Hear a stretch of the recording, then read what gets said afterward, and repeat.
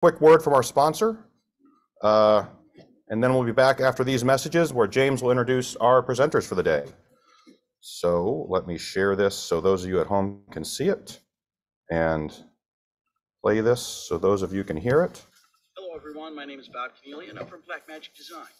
Thank you to SMPTE DC for having me here to present a few opening remarks. There you go. At Blackmagic Design, we are always looking to innovate, and we value our long-standing relationship with SMPTE. It's an incredible organization bringing together the best minds throughout the media, entertainment, and technological industries. Our most fundamental philosophy is to creatively empower end users of all levels and abilities by delivering high quality and affordable products. Technological advancements in media and entertainment are constantly evolving, with new standards rapidly becoming the norm. Thankfully, we have organizations like SMPTE to help navigate the ever changing landscape. We are always working to grow alongside an industry we highly value, and we're passionate about changing the industry for the better. It's been interesting coming out of the pandemic where customers everywhere had to adapt, engage audiences new ways, and build out new workflows to accommodate virtual events.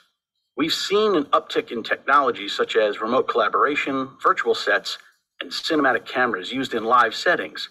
Also, filmmakers are capitalizing on more traditional live gear, such as switchers and routers, for their virtual production workflows and multicam scripted shoots.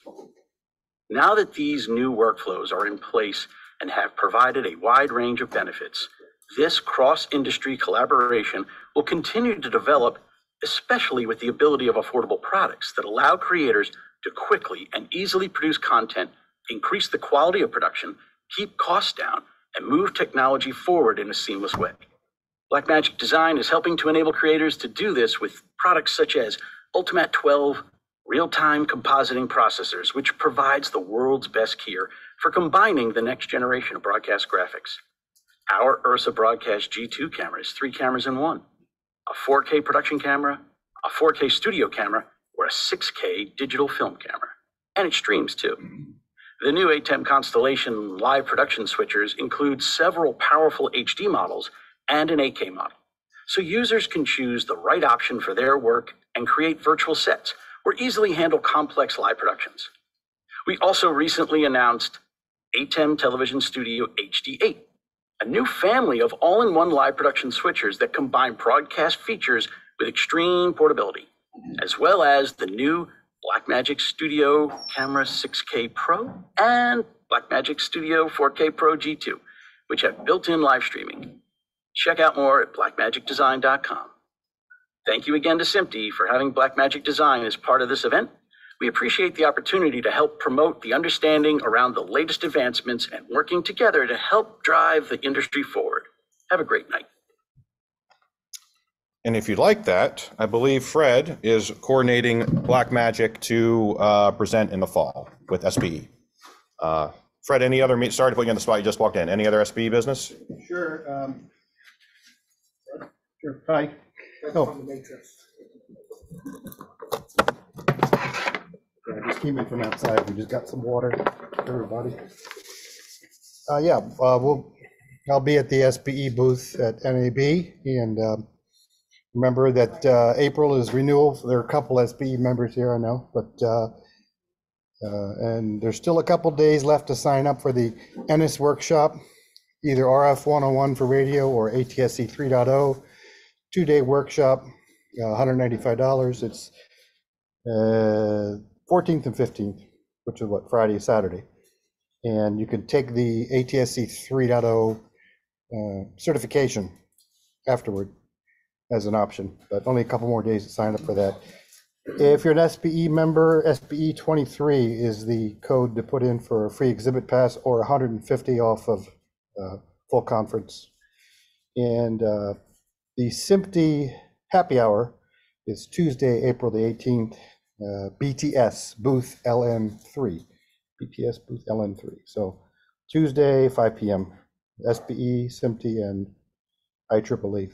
Uh, Coming up, SBE local, we have um, the SBE law update, which is going to be virtual only on the 11th, Tuesday, um, on the sbe.org website, all the details there. And we have uh, Zoom. Oh, yeah, sbe37.org for the local. And the SBE has a new website, sbe.org. Um, We do have uh, already May 18th planned for the WAMU combined antenna. If you're Familiar with that? We got a um, three or four radio stations diplex together, and we're going to even have ERI with um, Tom Silliman in person. Any of you RF people, uh, you get to meet him and talk about, talk about the project. Transmitter efficiency, June 27th with the Baltimore and at Columbia, Maryland, the facility. Uh, That's the end of June, and we've got, Joe- we don't have a venue yet, but we have the sponsorship Advanced Monitoring. Uh, August 8th is the HAARP uh, project, if any of you are familiar with that, up in, uh, up in um, Alaska. It's a big antenna array. The chief engineer will be explaining that. That's at the Goddard Space Flight Center Visitor Center. That's right. Yeah, he's, Steve Floyd is giving the presentation, and we have uh, sponsorship, and we have the use of the visitor center. And the docents will be there too, so the visitor center will be open if you want to bring some guests and you want to see some of the space exhibits, the rocket garden and whatnot. Uh, We'll have a picnic in September like usually. Uh, We're trying to work with, as you said, Blackmagic. We'd like to put together a program on uh, setting up a three-camera remote shoot. We hope some of the younger people will be interested in. And that will be October, November. And another thing on the works is a vinyl press facility that's local here. We'd like to take a tour of that. And then December, we'll probably have the party again. So that's the whole year for SBE. Thanks. Wow, you guys are, you guys are all planned already. Yeah. Uh, Eric, I didn't see you, so welcome as well. Um, uh, okay, before I hand over to James, I have, uh, um, one quick requ- requ- request. Yes, yes. So I'm gonna, uh, yes. So Phil's gonna talk first, uh, about, um, students. And while Phil is coming up, uh, I have a need for a sample BXF file that will not be used for production. So if anyone has a BXF file they might be willing to share with me so I can see the construct, you two on the, on virtual as well, uh, please let me know. Managers at simtdc.org. Um, Phil, I'm gonna trade places. You can, Joanne, come up and get in front of the camera and talk about the students. Hey, good evening, everyone. Hi there. Um, just so you know, I started the recording a little bit late for anybody who's viewing this on recording. That's why you missed the introduction at the beginning. So I'm here with Joanne, Joanne Hi. Carl, and um, the reason um, we're up here together is because I recently had the honor and the privilege to speak with the students um, at Montgomery College, and it was what was um, different for them is I, I was representing SMPTE, but I talked about being in this industry for a very long time from the sales side, from somebody who's been supporting all of you and many of you uh, I've worked with uh, directly in the same company, or you are my customers, or the customers of my people. And, and we talked about all the different kinds of careers you could have in this field with the, with their engineering skills and the people skills that are necessary. So I'll let Joanne talk about how it went. Uh, I thought it was a great, uh, a great guest speaker, but also a way to bring together, uh, Phil brought in all the different sides. And I, the students don't think about engineering enough. Our student chapter does, but they, uh, it really brought it to the rest of the students in this class, in this management class. The class was broadcast management. And so they're, they're tasked with learning all the different departments and what everything is. And so they had some really good questions. Uh, Phil presented about how, about sales and management and marketing and, but uh, through an engineering lens and how, how important that is. And um, it was really great. And I was really proud of their, their, how excited they got about the, about the topic. Yeah, I was very impressive at, uh, as to how much they were engaged. And um, I would say the vast majority really had a vision of what they want to do when they finish with school. One person was, you know, kind of struggling there, but that was more Mhm. normal than the other, Mhm. you know, so it they were, they really were focused and they were into it. So that's, uh, that's it, Sally. Right. Um, So thank you very much, everybody, and thanks for the opportunity. So the student chapter will keep going on next year. And so if anybody wants to be guest speaker, you can contact me or has some things they want to show to students, bring in and, and do a show and tell kind of thing. We'd love to hear about that. Okay, Thank you all. Uh, That was, uh, if, if you aren't aware, um, new blood in this business is lacking. Uh, So it's, it's great that we have the students who are interested. Um, A lot of initiatives in SMPTE and uh, SBE and a lot of other organizations to bring in, uh, bring in the youngins, which I remember when I first started coming to SMPTE, I was like, wow, all of you are old. And now I am. Uh, All right, so with that, um, let's bring up James to introduce our guest speakers, uh, speaker and presenters for today.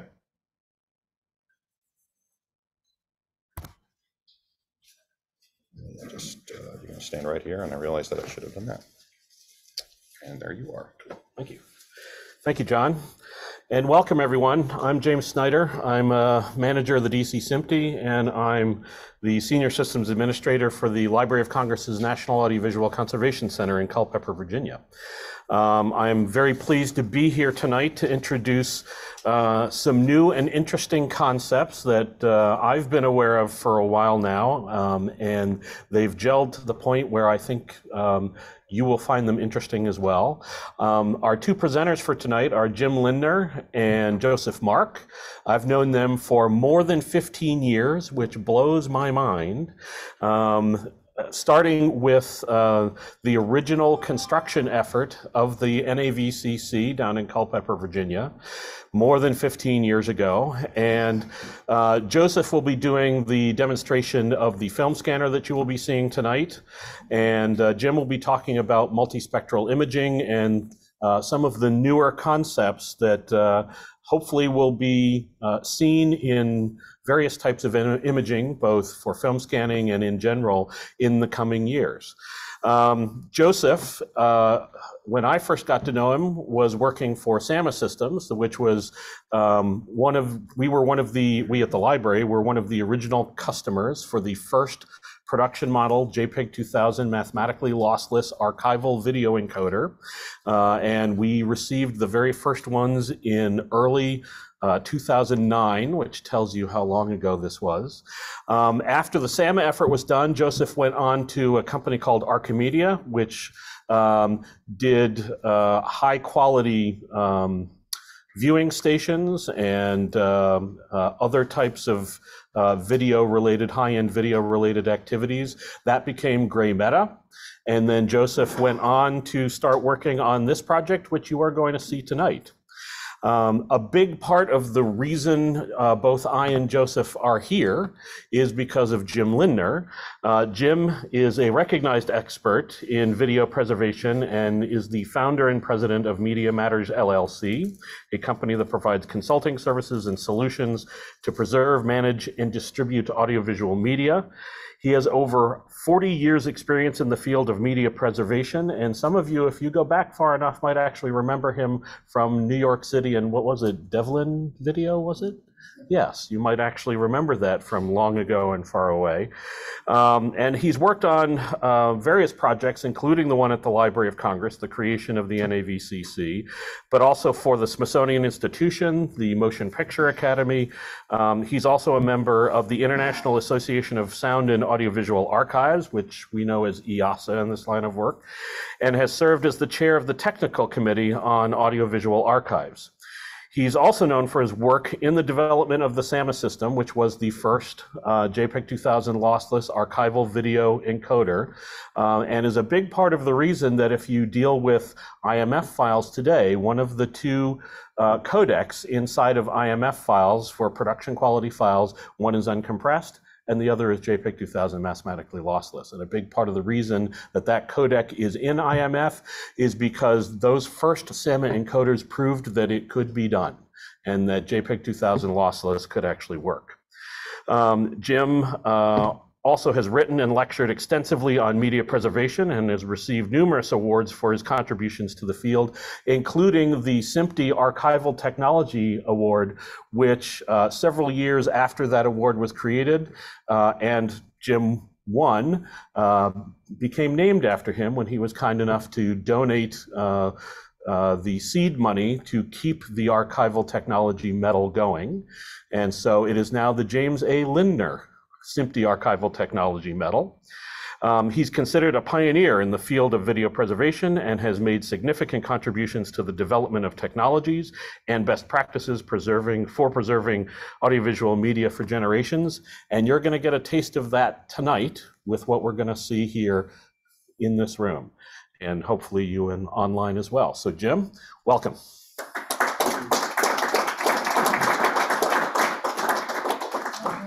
Thank you. Oh, we're going to switch over. Yeah. We need a second to uh, do our AV stuff here. Just turn off me. Yeah.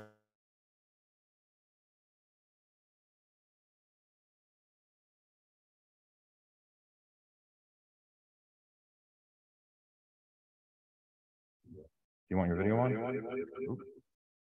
Your video turned on? Yeah. All right. And little control right there. See yourself? There you are. Okay, can we move that out of way? Yeah. Great.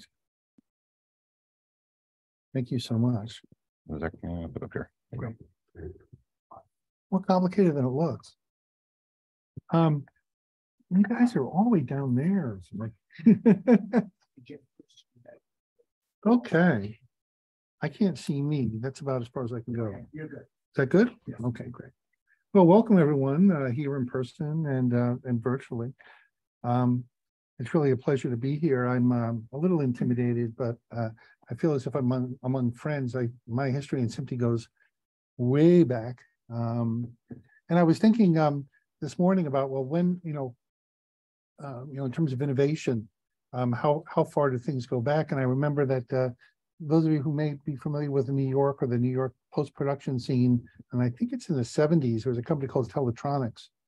And I was thinking that I saw the first uh, non-linear editing system at Teletronics. They called it the light pen system. And um, I don't remember what kind of a computer it used, but the disk storage was these big, like, you know, um, hat, hat uh, uh, storage devices. And um, um, and um, every now and then you, you know, you you go to a presentation where you go like, wow, that that started think, me thinking differently. And and you kind of go back, you know, in this field, you go like, well, well, you know, that presentation was really, really different.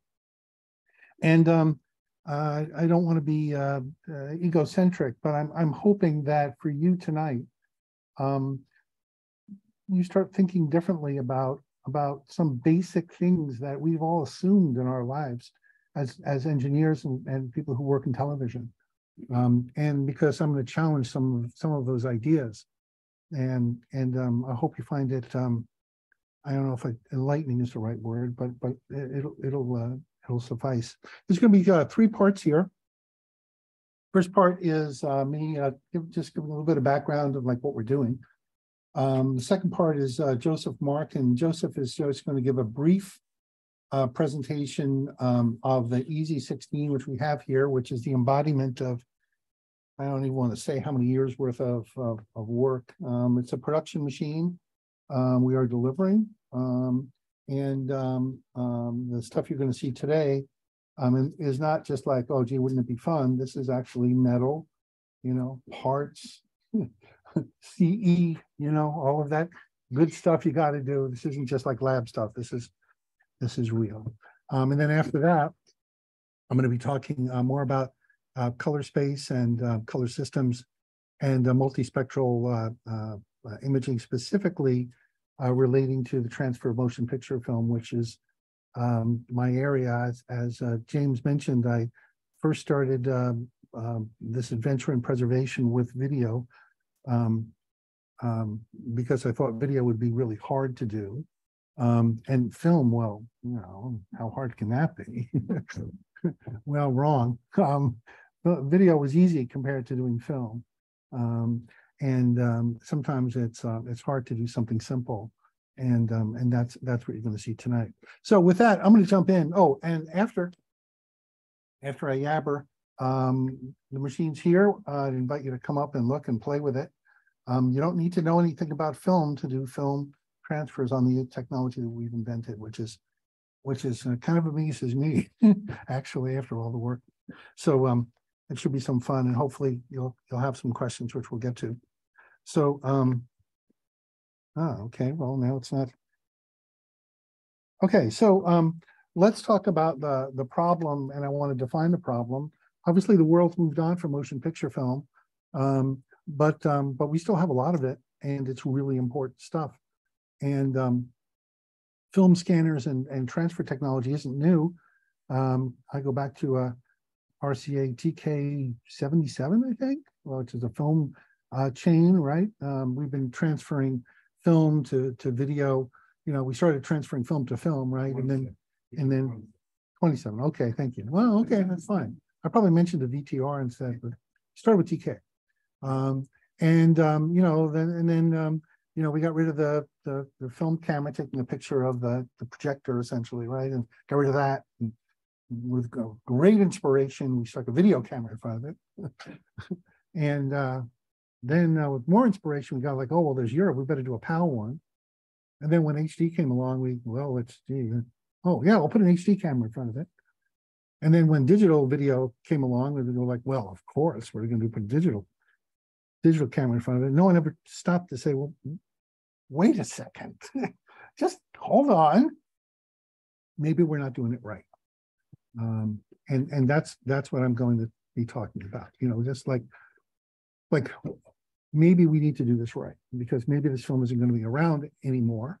It's all deteriorating. In the, in the nineteen eighties, there was some work done by the Image Permanence Institute and, and, um, seminal work and, um, and what they, what they figured out was that if you keep film cool and dry, um, it will last longer. Um, and so everyone went out and built vaults, cold vaults, including the Library of Congress, which was intimately involved with. And, um, and at that time, they were talking about, well, how long would it last? And the general feeling was, well, color films, you know, cool and dry, depending if it's frozen, blah, blah, blah. You know, about a hundred years should be okay. No one ever de- just defined what end of life was, you know, like, well, when is it to be said that it isn't lasting anymore? But, um, well, the nineteen eighties is forty years ago, you know, and, and a hundred years now isn't so long. Um, and, and, um, and meanwhile, we've had scanners, you know, but the reality is, is that we have all the film still in cans, you know, that, that, that the technology that we've had to digitize things hasn't fundamentally worked. Um, and there's a bunch of reasons for that, which I'm going to be talking about. And while we have all of this film, we have too much film, and we have too little time because the film is deteriorating. It's kind of like drip, drip, drip, right? Every single day. It's not getting any better in the cold vaults. It's just getting worse, slower. And while that's all happened, the world's changed, right? You know, when people talk about the end of film or the end of film life, no one thought about, hmm, are there going to be projectors? You know, we all figured that Kodak would go out of business, you know, but no one thought about, well, what about the guy who makes light bulbs for the projectors? Well, what, what about the sound reproduction systems, you know, the little exciter lamps? What about the, you know, yeah, right, you're laughing. It's like dot, dot, dot. It's like, you know, so, so Kodak went out of business, but, but even before Kodak went out of business, all of those guys went out of business. It's like a huge implosion. Um, when we started the, this, this adventure to- to build better technology for preservation, the last thing I wanted to do was build a film transport. I mean, geez, you know, I've been doing it for a hundred years. I just want to buy one, you know, sell me one of yours. I don't want, you know, it's like, well, guess what? There was no one to sell it. There- was, no one was making sprockets anymore. You know, that, like, who's gonna make that? You know, the, the technology's gone. And so there was, there's been this implosion that's occurred. Um, and the implosion, um, includes not only the stuff, um, meaning the, the metal stuff, stuff you can hold on to, but it's also the people. Um, you know, film technology is esoteric, you know, it's like, well, what does this circle and triangle mean on the film to a twenty something year old? What? You know, I mean, uh, you know, this stuff just doesn't, you know, there was a reason, there was a historical precedent. People who know it are retired or disappearing.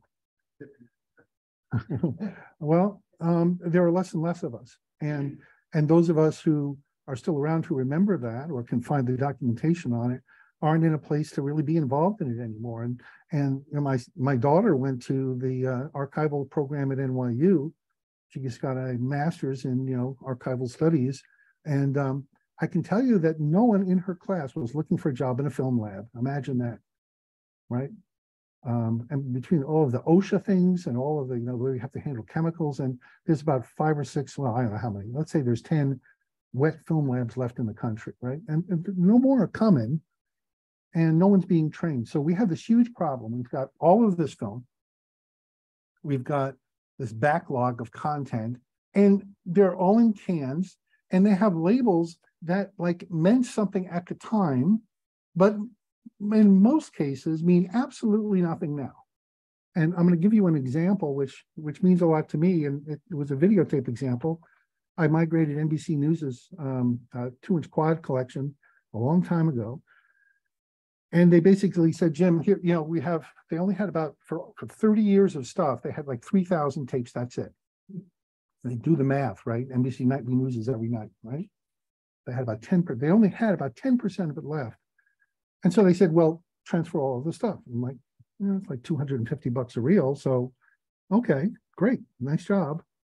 So I had a reel of tape and the, the, the reel, the label on the reel said resignation slash Disneyland. That's what it said. You know, Sharpie, right? Resignation slash Disneyland. Called up the customer and I said, you know, you want me to transfer this tape to resignation slash Disneyland? It was like, and he said, um, so Jim, we told you to transfer all the tapes, right? I said, yes. He said, so why are you calling me? Transfer all the tapes. That's the project. Okay. So what was the tape? Well, once we put it on the machine and started playing it down, it was Ronald Reagan. And Ronald Reagan at that time was governor of California. That day, he happened to have been at Disneyland and made a speech about the resignation of Richard Nixon's president. And on that day, resignation slash Disneyland made total sense. And after the six o'clock news on that day, it never made any sense to anyone. And archives are full of that stuff. They're full of it. Okay. We don't know what we have, but what we do know is that if we don't digitize it, there's no way to deal with it. There's no way to look at it. There's no way to preserve it. There's no way to, you know, bring the, the uh, cultural material along.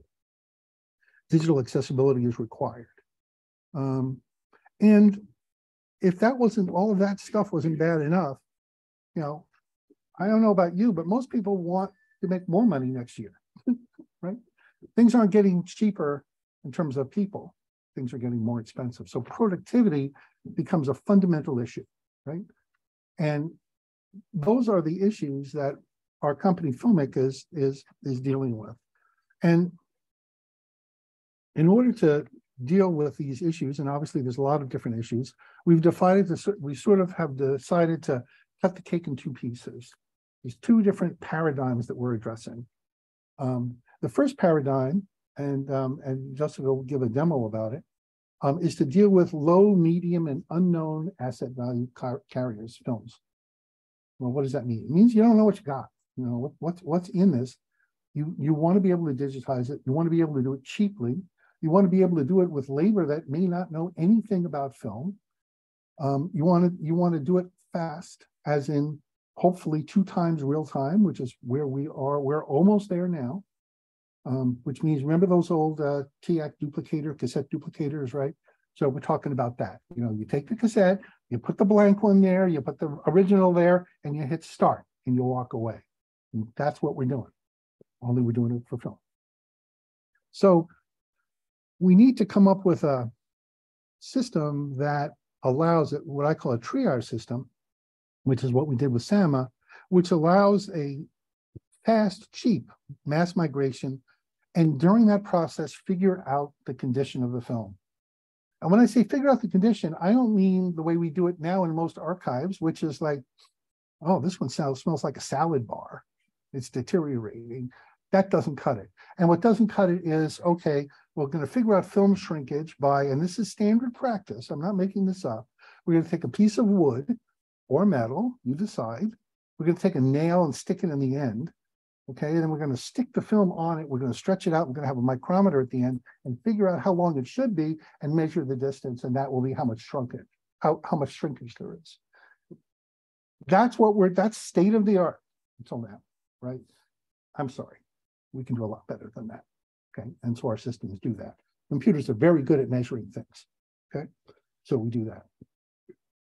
As part of that process, it's an assembly line, right? Take the stuff off, stick it on the machine, run it through, do it again. Right? You just get it done. Okay, get it digitized. Don't mess with it. Get it done. As part of that process, you go, oh, here's Barack Obama in shorts. We didn't know we had a picture of Barack Obama in shorts. Now we do. That may be valuable, and we may want to do a higher quality transfer. Okay, so the first task is to treat everything the same. And during that process, discover things that are of higher value. Okay, that is not the way we do it today. Today, the perfect is the enemy of the good. Okay, well, we're going to clean the film and we're going to repair all of the splices and we're going to get it everything lickety poo and it's going to be 4K and blah, blah, blah. And I'm sorry, it's junk. Okay. And so you're wasting all of your money. When I say you, I mean collectively, people with content are wasting all of their money while everything gets worse, everything gets more expensive. Okay. You don't have access to it and you have no clue what's in there, but you can spend a lot of money to make it perfect. And the result is if you've been for vaults, the result is what you see there, which is maybe 10% of the stuff is done, maybe, right? That doesn't cut it. Okay, so we've got to do something different. This is something different. So this is the EZ16. There are two versions. There's the EZ16 and there's the EZ35. The EZ16 does 16 millimeter as well as 8 millimeter as well as Super 8 millimeter. You can see it here. It's state of the art technology. It is all custom. All of the circuit boards were designed by us. All of the parts are machined. All I mean, this is this is not like you know, this is all manufactured. Okay, and um, Joseph is now going to give a quick demo about the EZ16. Talk a little bit about it, and then I'll come back and talk about um, multispectral imaging. Hi, I'm Joseph Mark. You got to come here. Take two. Hi, I'm Joseph Mark with Filmic Technologies. I am in charge of customer care. I'm a longtime uh, SMPTE member. And I would like to show you what Jim was just talking about. And many of you are familiar with the project management triangle. You have a schedule, like digitized before the film turns into a hockey puck. You have a budget, which is never enough, but it's more than zero. And then you have a quality. And so I'm going to illustrate each of those in hardware and software. Um,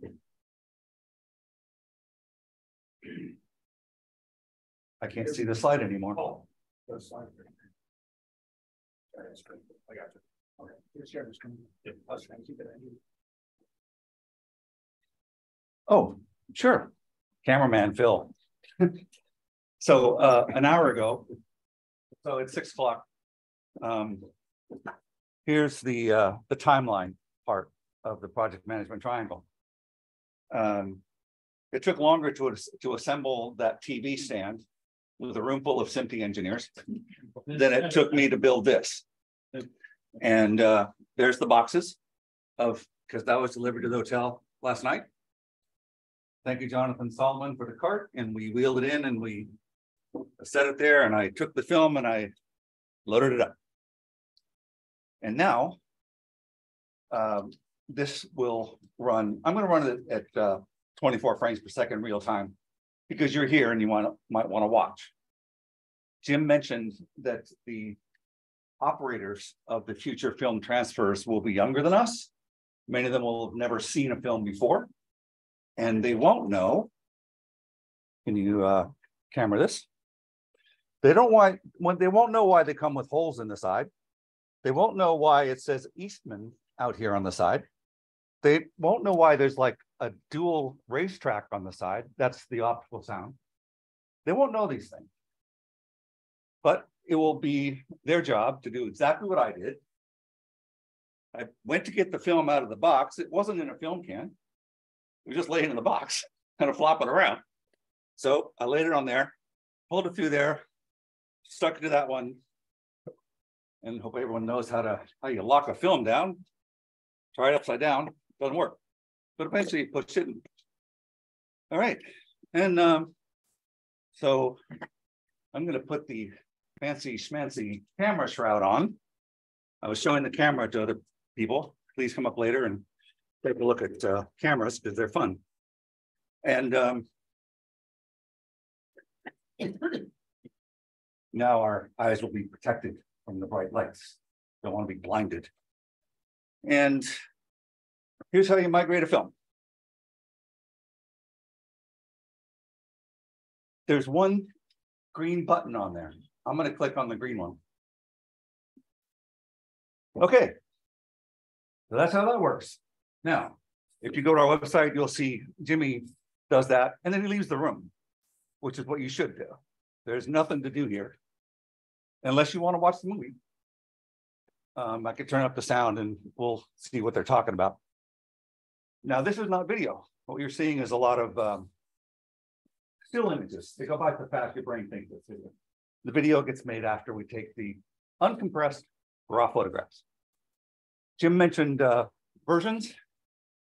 That's a five megapixel camera, otherwise known as high definition or 2K, whatever you like to call it. And in the same place, we can put a 24 megapixel camera, which just means you have to store more stuff. But either way, the important part is you have digital access as soon as the film gets to the other end. Stick your USB stick in here, take a video, give it to somebody, and they can watch it.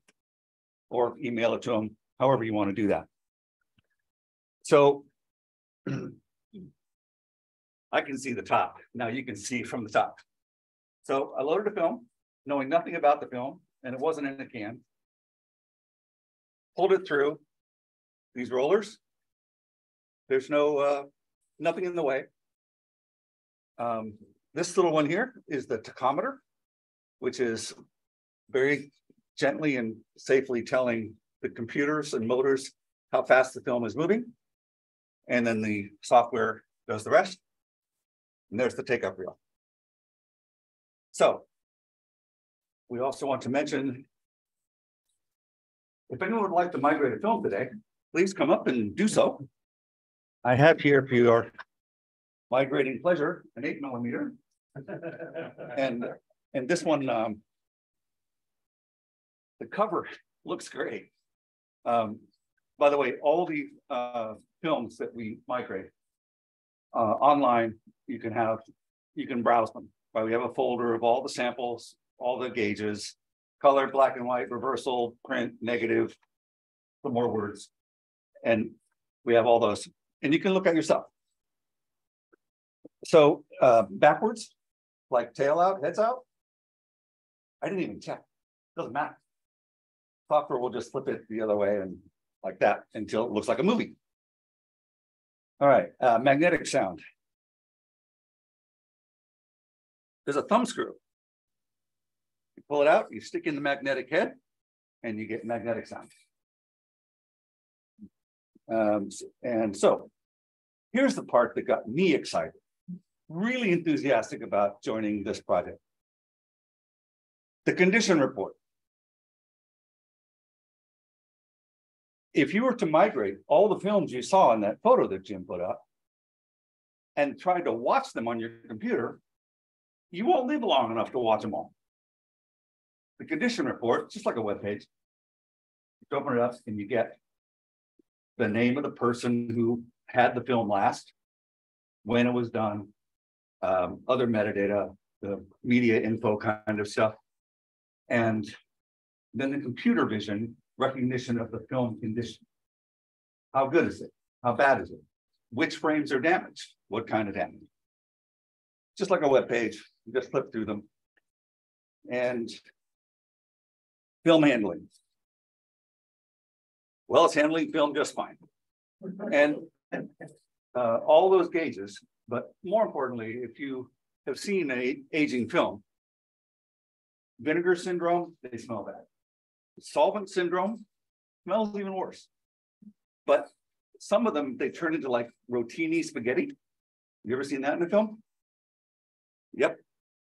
Definitely digitize those. They're not gonna get better. There's cupping, that's where each individual frame kind of bulges one way or the other. Like, uh, and, uh, yep, digitize those for sure. And don't hang around watching the paint dry. It's automatic. So that objection is gone. How do you know the end of the file? You don't need to. My favorite part is, I hope it ends before, while Jim is talking. You'll, you'll see the machine, it just does what your washing machine does. It just kind of clicks and stops.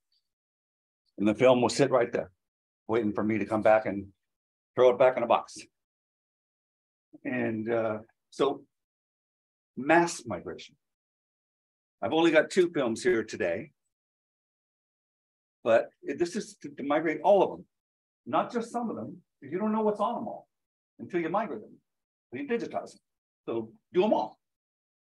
And so how fast can this go? Well, I'm showing you twenty-four frames per second.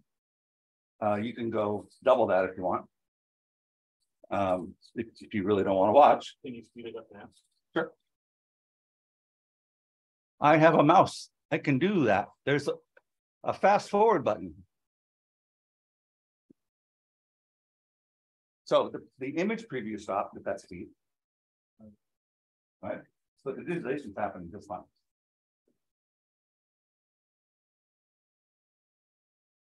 So let's go back to where, it- oh, yeah, it says, please slow the film. And yes,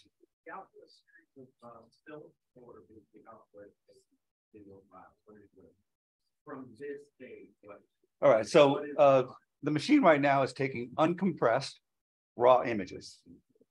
And this is a preview of what the camera can see. And from that, with, it, this will render in any FFmpeg supported format that you like, a video. In three different crops. We call one the movie crop, because it looks like a movie. All the edges stuff, it looks like a movie, doesn't look like this. Uh, my favorite one is called the inspection crop. Because it looks like a movie, except you get to see edge to edge, so you can see the Kodak words go by and you can see the optical sound. And then there's the full uh crop, which is that. In any format you like. Was that, what, now, there's also, for those of you who've been working in. Uh, content management for some time. There's also metadata. Because it's uh, it's not a storage problem, it's a retrieval problem. So uh, there's all this information that you can import to whatever management systems you like.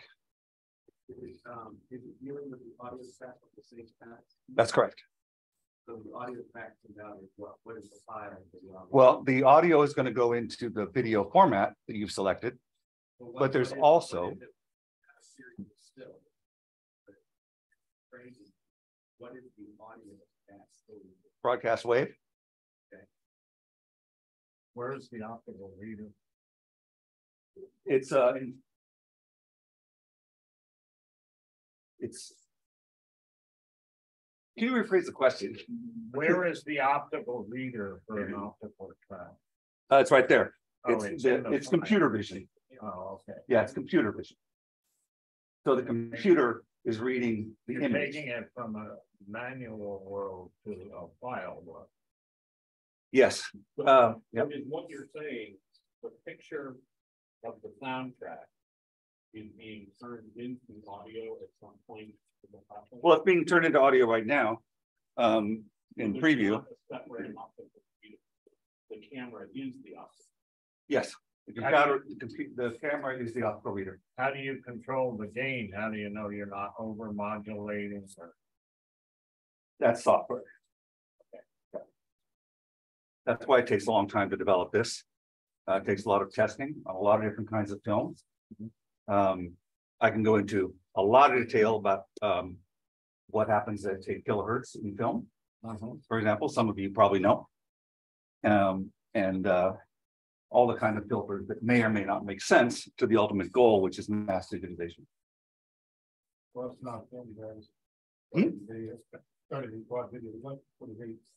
Eight K, eight, is it a? Oh, in optical sound? Is it a harmonic or something?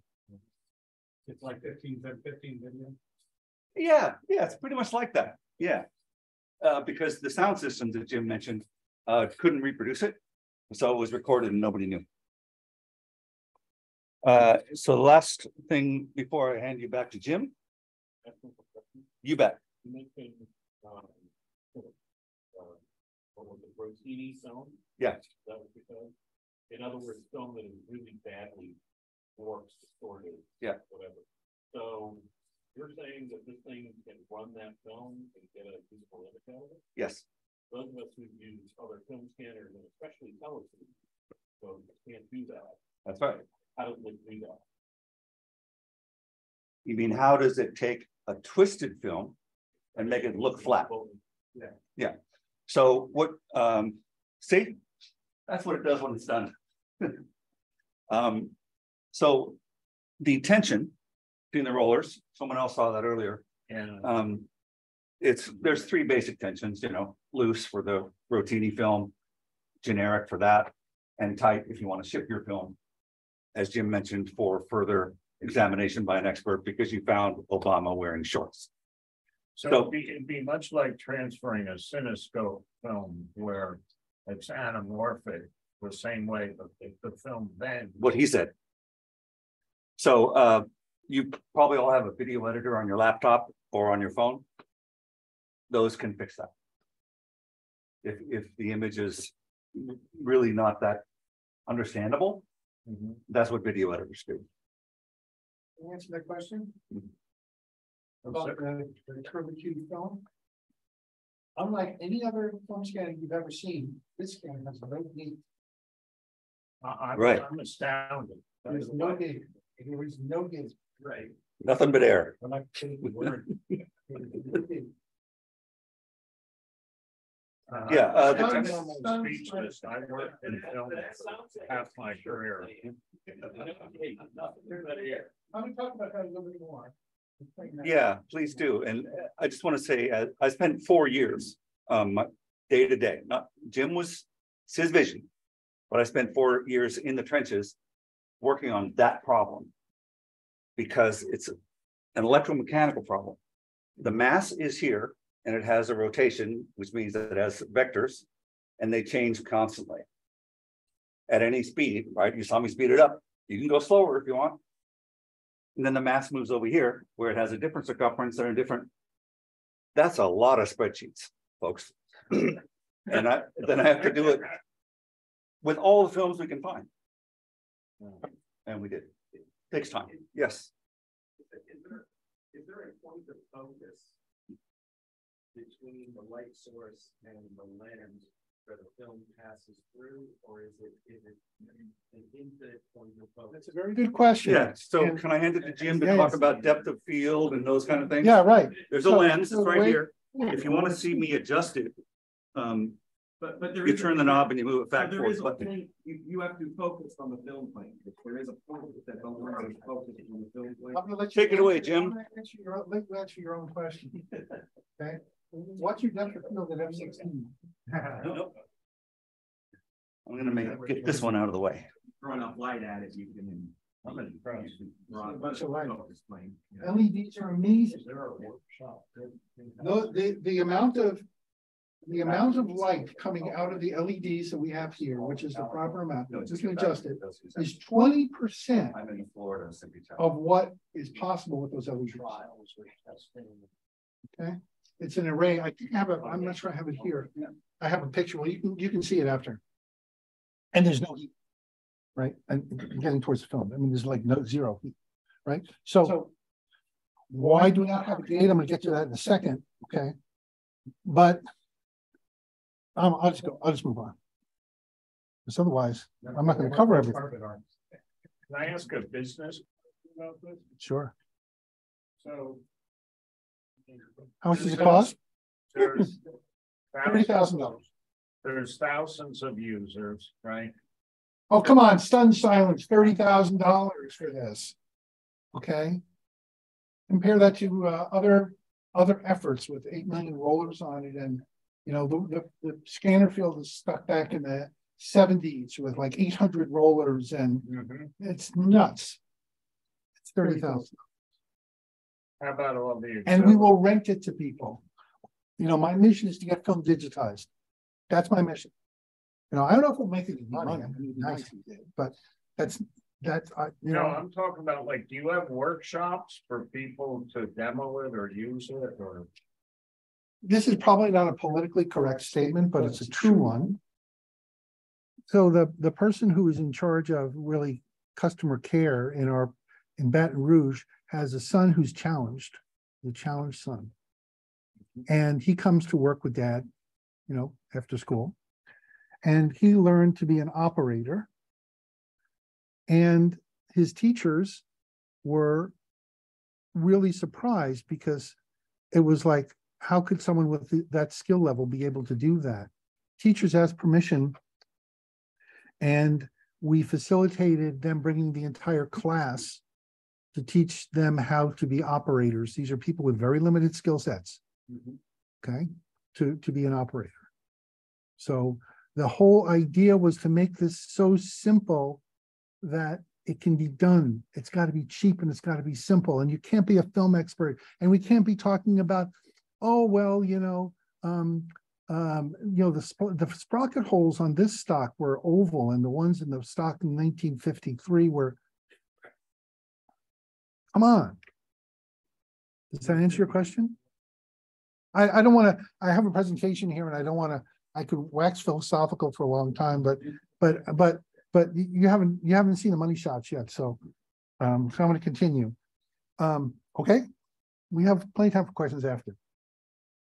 We spent a lot of money, a lot of time, a lot of energy designing this platform. You'll see the bottom part of it is a Dell server.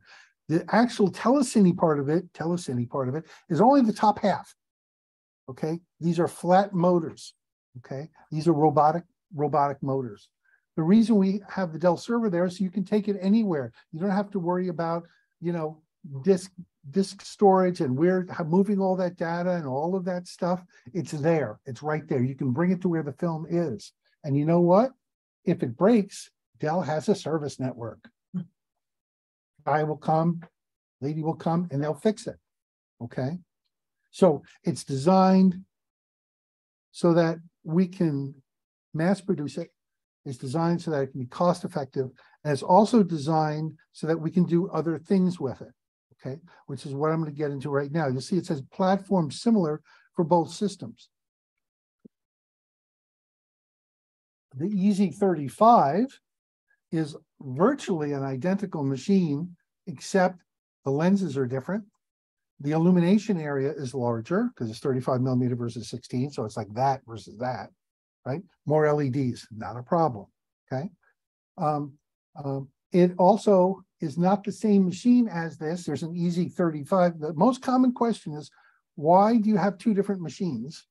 Why don't you have one machine do all of it? And the simple answer is, is the cost of doing one machine that went from eight millimeter to 35 millimeter was more expensive than if we had two different machines doing those. That's the answer. And of course, the obvious answer is you could have two people working at once or one person doing two jobs at once. So this is all about productivity. The SAMMA system that I designed, you know, I'm not a genius, right? I, what I just did was I was just figured out productivity. You know, it just does more, faster, better. That's that's what it's all about. Let's talk about better.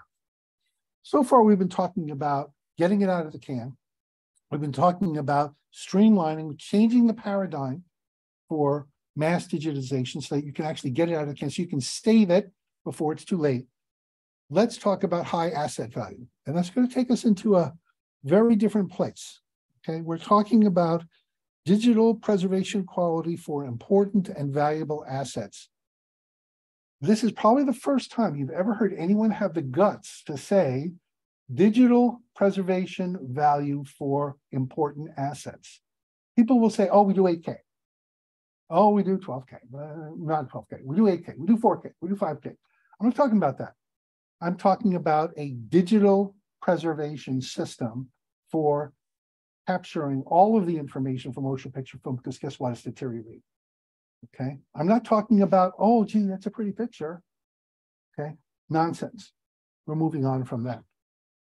We're talking about the creation of a data representation of film, and I'll talk about that in a second. It is unprecedented and upgradable, high precision capture in both resolution and color depth. And I'm just going to answer the questions for you right now because I know you're thinking, what does he mean about unprecedented color depth? 160 bits of color depth per frame. Think about it. 160 bits of color information per frame. Compared to what? Compared to what, 16, 24? Right, depending upon its log or linear. Eight bits per channel, right.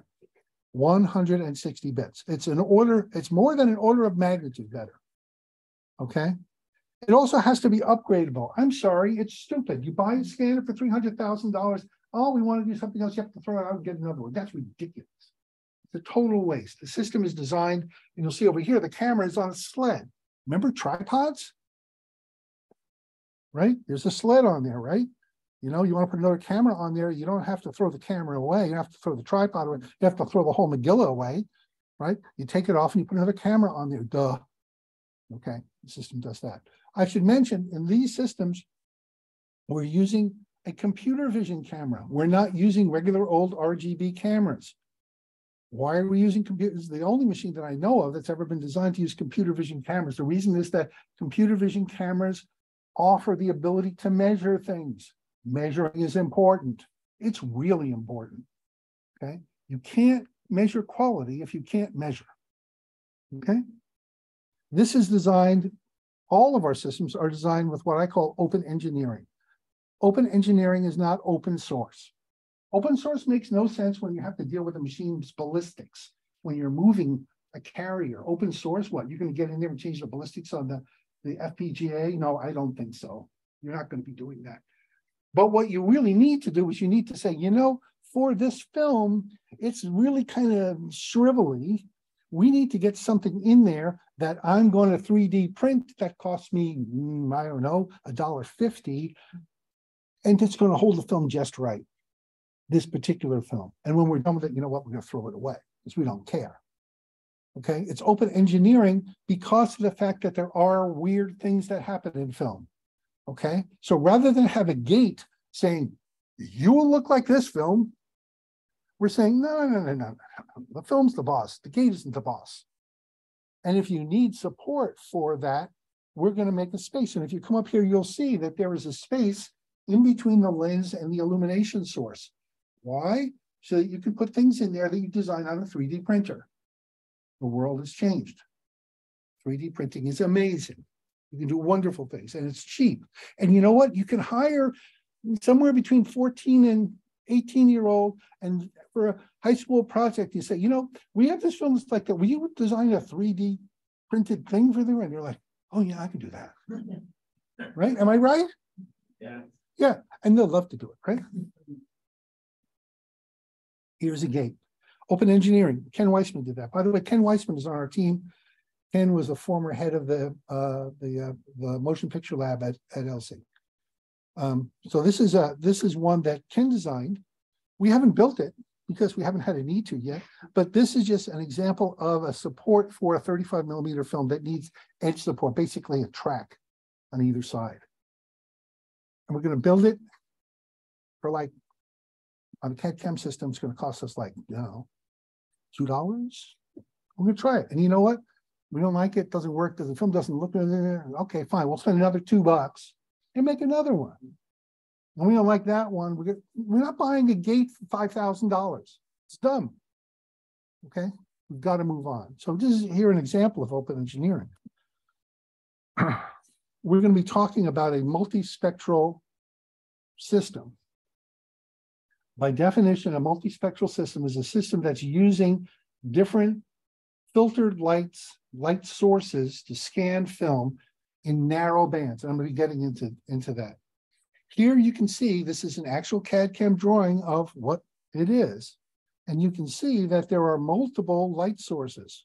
There are nine at the moment, but that may change. Each one of those light sources has multiple LEDs in it. Okay, so we're getting away from, okay, there's the white light source. We're not gonna have white light sources. We're gonna have multiple light sources of different colors. So there's some fundamental differences between a multispectral system and the system you see here, but it doesn't matter in terms of how you transport the film. Hello? It's 35 millimeter film. So we're saving engineering money by using the same platform for the EZ16, for the EZ35, and for the Rainbow. Okay? Let's talk about, here's the meat of it, a data-centric representation of film. What does that mean? How many people have you done color correction of film? Everybody? How many people have been able to get a shirt this color doing color correction in film? How many of you? No one. No one. I'm sorry, cyan doesn't exist in film color correction. Right? One twenty. Doesn't, doesn't exist. You can't, you can't get it out of, I don't care what color correction system you're using, you're not gonna get this color. You can't reproduce this color. And I'm gonna get into that. So the idea of preserving the film, all of the film information means that we're not gonna play these little games of like, oh, well, if we do this, if we take the green out and put a little bit more of it. No. We need to preserve the data. That doesn't mean that we're gonna use it for production but it means that we're going to create a database for each film frame. Okay, it's a different way of thinking. Okay, quality is not based upon what your vision is, because guess what? You have your own light issues, you have your own eye vision issues, you have your own cultural biases in color. And you know what? We're dealing with preserving Gone with the Wind. The fact that, oh, it looks a little too red, no. No what we need to do is we need to capture all of the information so that for the rest of time, people can go like, you know, I want it to look a little bit more blue. Why? Because that's what I want. That's what I want. Okay. And you'll be able to make as many derivatives as you want because you're starting with the master data representation of what was really there, not what was went through this weird color correction nonsense.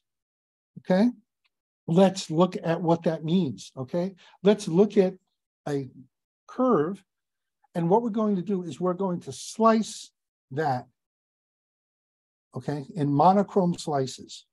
Let's talk about that. Analog film preservation has been around for a long time. What are the primaries in film? Color primaries? People know this. Are they red, green, and blue?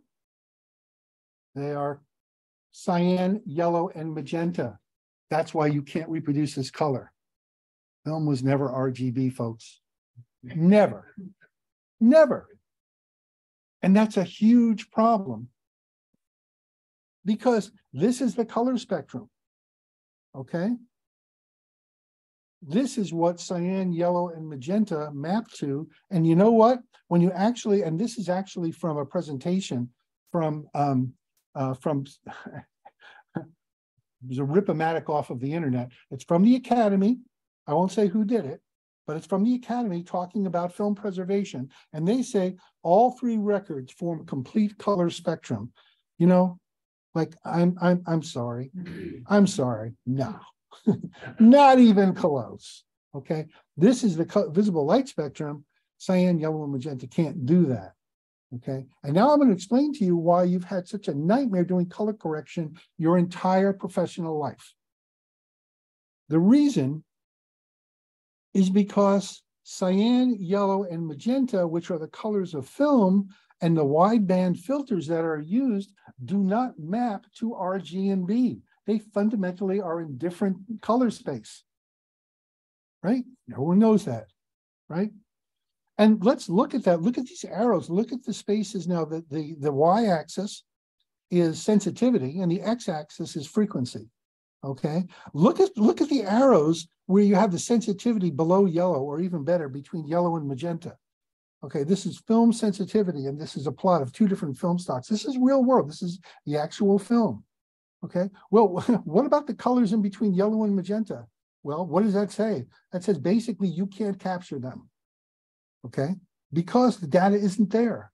What happens when you try to reproduce them? What do you get? You get noise because there's no data.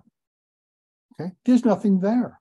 Okay, and because the filters are so wide, if you look at the cyan filter, what happens in analog filters, and I'll get to in a second, what happens is you have to bring that cyan down to an RGB value for that pixel location. Okay, the filter is too wide. So you're not getting an accurate value for where it is. It's misplaced, it's wrong. The physics are wrong. Film is not RGB. Film is the thing on the left. Okay? It's a, a bunch of layers. Okay? And when you look at a very a pixel location on film, you're not seeing a red, green, or a blue on film. I dare any of you to show me a red, green, or blue pixel on film. There is no red, green, blue pixel on film. What there is is there's a specific location and there's a spectral profile at that location. But we go, well, it's a film camera, it's an NTSC camera, a PAL camera, put a digital camera there. No, it makes no sense. Because RGB values are not able to capture a spectral curve. It doesn't work. Well, in a perfect world, what does RGB look like? Now, this is like a mathematical wideband RGB curve. I'll get, I'll show you in a minute what an actual camera looks like, because no camera looks like that. Okay, but this is what RGB should look like. And when we actually look at that, there's some huge problems with wideband analog filters when you only have one RGB value to pick from. For that one pixel, I've got one RGB value. And yet I've got these huge monster wideband filters. Okay, so let's look at B. Let's look at B1 and B2. What's going to happen in B1 and B2, right? B1 is a brighter value, B2 is a lower value. Notice that the difference in color frequency. Guess what? Brightness trumps anything, right? If I have a pixel that's this bright and I have a pixel that's that bright, which value is going to be captured in RGB? The brightest value. Okay. If I have a lower value that's slightly lower in color frequency, what happens to that information? God. It's not captured in the first place. Do you know why you can't increase it? If you want that color, it's because there's no data there. Because it was taken out in an analog filter. This is how every single sensor, this is how the sensors in your cell phone work. This is this is everything. Okay. Let's look at G. Here's another example. G1 and G2. Notice that G1 is at around 500 nanometers and G2 is at 550 nanometers, right? One is lower frequency, one is higher frequency. They're the same brightness or luminance value, if you will. What number is saved? The one in the middle. It's an average, right? It's an analog average in light. What's saved? What is saved is a value that is representative of neither of the two. Right? Not only is it wrong, but it's wrong to the point where the where what the color that's captured is totally wrong. And the worst example that I have here is R1 and R2. R1 sort of is very similar to our brightness thing. Okay, that's the one that's going to be picked. But if you look at R2, R2 is in the space where the green filter is capturing information also. So now you have the additional error associated with having light in areas where you have two filters overlapping. Oh my God, this is a nightmare. And this is why it's never worked. Everyone's worked really hard to get it as good as you can, but it doesn't work. We all know it doesn't work. Here's another reason why it doesn't work. Let's look at the left chart. This is an actual response curve of a um, Nikon D300. Decent camera, decent sensor, nothing wrong with this camera, nothing wrong with the sensor. And if you look, there's on online, there's tons of these, right? Look at this. Do you see any flatness going on? do, you see, do you see any linearity in any of these? right? Look at the blue versus the green versus the red. And then look at the blue coming back up at around 750 nanometers. It comes back up, right? Okay, why does that happen? It has to, it has to do with a Bayer array. Does everyone know that the sensor underneath in your camera, whatever camera it is, it's actually a monochrome sensor, right? Everyone know that. So how do you get the colors? Spray paint. That's what it is. It's spray paint. What they do is they spray micro lenses and micro filters on top of the sensor. There's, there's a glass essentially separating it, and that's how they get the colors. Okay. So you have these wideband filters being sprayed on top of the monochrome sensor, which means they're in slightly different locations by definition. Okay, that's a huge problem right there. Okay, but then also look on the upper right side and you'll notice some of our friendly, we'll say economies that were taken because human vision is more sensitive to green. How many times have we dealt with that in our professional careers? Oh, well, the reason it's 422 is because the human eye is more sensitive. Oh my God. Oh my God. We've got to get past that. And I'm going to show you how we're going to do it. So you, you so if if all of the stuff I've just showed you isn't bad enough, on top of that, the filter, which is filtering the light, the photons that are getting to the sensor are inaccurate because they are not accurately represented by the by the same amount of filters. There aren't the same amount of filters. There's a lot more green filters than there are blue and red. Does that mean you're going to get as accurate or enough accuracy in the data for blue and red as you are for green? No. Does that make sense to your real life experience? Yes, it does. Hmm. That's why black and white isn't black and white. Because the sensors have their filters on them. You can't get black and white. Oh yeah, I can turn the chroma down, but the data is still there. And that's the whole problem right there. So what does that look like when you mix all the stuff I just said? Okay, well, it says title. Okay, that's good. If you if you if you map the cyan, magenta, and yellow layers to the RGB hypothetical filters, not the real ones, the hypothetical, look, there's a huge mismatch. Color spaces are wrong. They don't map. And you probably knew that before coming here, but you probably never really thought about it. Okay. There's a huge mismatch. Okay. So how do you fix it? The way you fix it is by using multispectral imaging. Now, multispectral imaging, what's that? Multispectral imaging is not new. Multispectral imaging goes back to the 1960s. It's used in lots of things. It's used in medical imaging. It's used in satellite imaging. That's how the pictures got to us from the moon, right? They had a black and white camera that had color wheels. That's how they did it, right? Multispectral imaging has been around for a really long time, okay? But it's never been used to capture the information from motion picture film, or for that matter, in broadcast cameras. Does, am I implying that there should be broadcast cameras that are multispectral? Yes, I am implying that. Okay, and I happen to believe, hypothetically, consider I've been researching this for five years, it could be that there are people working on that. Does that mean that there is display technology that is not necessarily just RGB? Yes, there are some patents patents that are filed for that new kind of display technology. So we're not stuck in an RGB world forever. Okay. So what do we do? We have to figure out a different way of, of filtering that makes sense. And the way we do that is we slice up the spectrum. We've chosen to slice it up in 10 pieces. Why? Because it's convenient. Okay.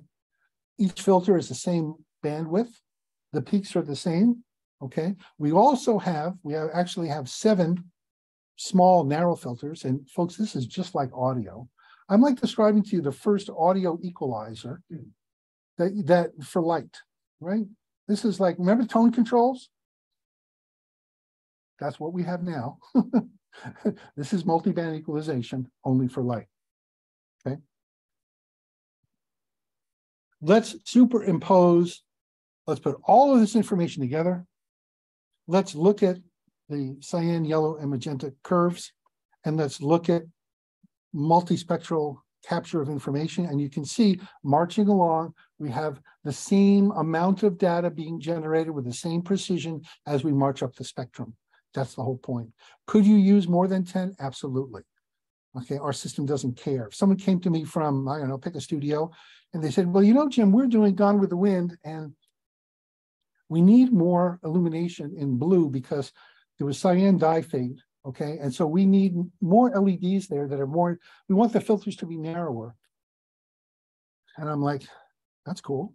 We don't really care what the ten bands are. You know, if you have something that you need to do, we'll engineer it for you. There's going to be a charge to do the, to do it. But why not? So if you look at cyan, yellow, and magenta, all of a sudden it makes sense. All of a sudden, there's now a way to capture that information, which is uniform and consistent and makes mathematical sense. So what's the filmic rainbow? The filmic rainbow makes 10 individual monochrome exposures for each 35 millimeter film frame. Okay, this is not real time, folks, but you know what? We're doing 101 Dalmatians. I don't care. It's been sitting in the can for 100 years, another 100 years in a week. Okay. Okay. The exposure takes a 30th of a second for a layer. That's fine. What's the rush? Okay. Because it's gone with the wind. Okay. Each exposure uses a different light source. It's accomplished by using narrow frequency LEDs. There are other ways to do it. One could use a filter wheel as an example. There are hyperspectral cameras which work differently, part of an extended discussion concept that's important. For the rainbow, each exposure is 16 bits deep, 10 exposures, 16 bits deep, 160 bits of color information. No one's passed out yet. That's pretty good. And how much resolution? A whole bunch of resolution. A whole bunch. Okay. We're talking about gigapixels. Forget megapixels. We're talking about gigapixels. Each black and white exposure will contain 1024 megapixels. Okay.